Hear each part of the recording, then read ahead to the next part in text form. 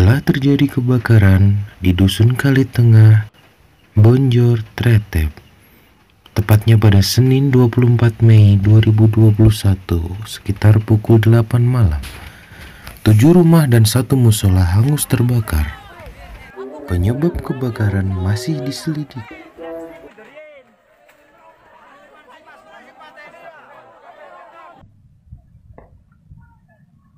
Bojor berduka, Bojor kebakaran, Bojor kebakaran. Ya Allah.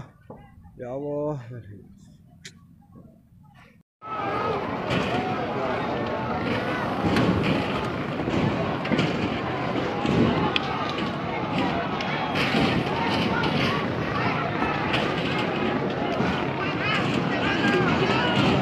Gerang pring Apa kali ya? Lagi ya, Sri Mudorin. Mas, masih patene.